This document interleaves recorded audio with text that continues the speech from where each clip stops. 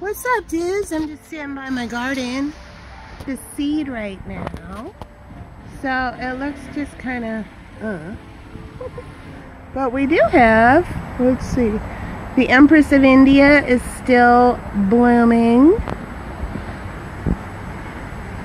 Look how cool those leaves are. That's called a nasturtium. You can call it nasty for sure. Those are totally edible too. Every part of that plant is edible. Really good in salads. Which is a good a good intro to what Spirit wanted to talk about. Like we should never judge anybody by what food they eat. Ever. So attention vegans, vegetarians, and meat eaters. We should never judge anybody by what food they eat.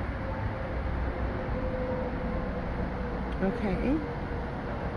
So Spirit wants to talk about Halfdan and his friend Shaq. So there used to be this Viking that traveled all around the world named Halfdan. And he had his BFF bro, um, homeboy, who was a black man that looked just like Shaquille O'Neal. Now picture Shaquille O'Neal and a big burly Viking dude who were adventurers. And they would travel all around the world. And they were best friends. And Halfdan would tag different places he had been with Halfdan was here. So, which leads to nutrition. Halfdan, as well as, as Shaq, his friend, are meat eaters. They eat a lot of meat, like meat and potato type people. They are on a boat and they it's just them two. And they've been on their boat on the sea for fucking ever and they're fucking hungry. Here comes an island. This is how legends are made so they dock up their they dock, a dock might mean something. They shore up their boat. I just heard shore lunch and they step out onto the beach.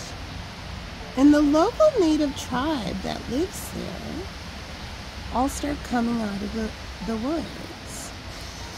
And they are all very small statured people.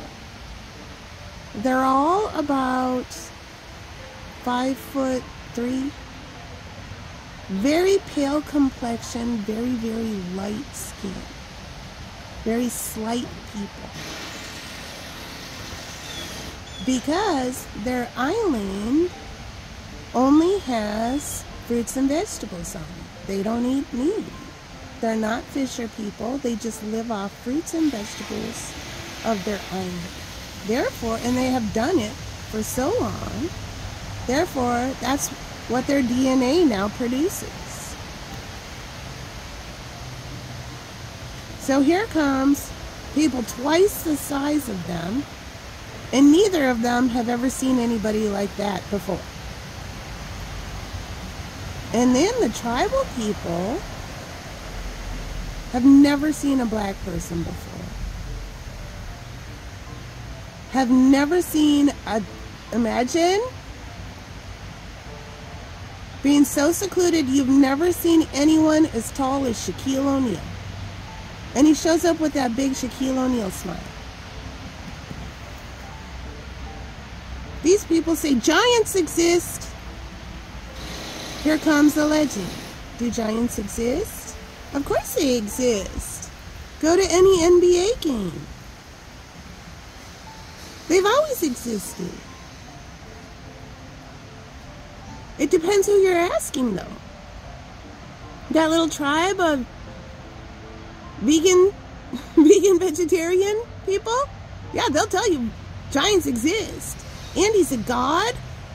His skin is totally different than us. Yeah.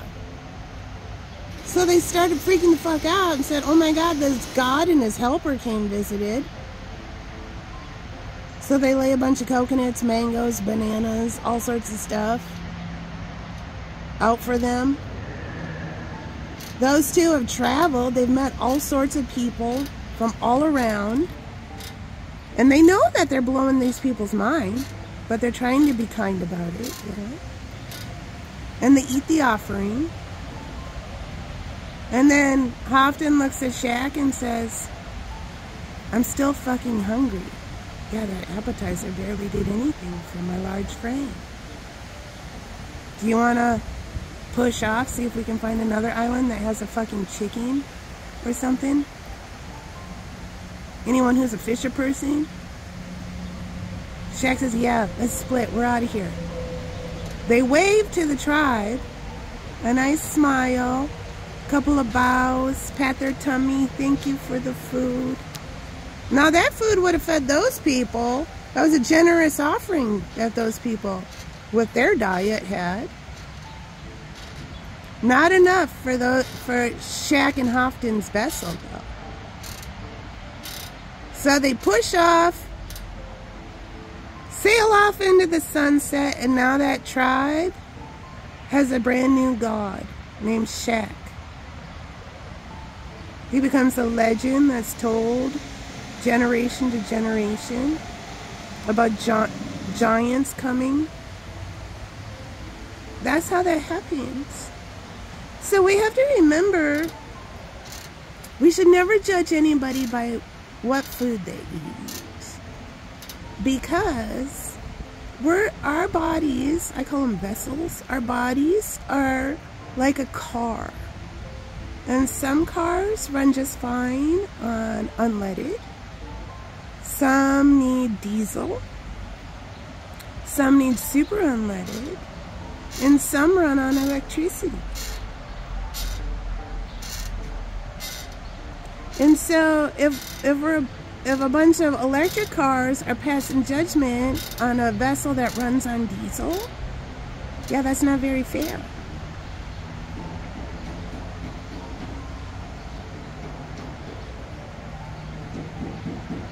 All right, so there's the message. Somebody might be getting a new deck,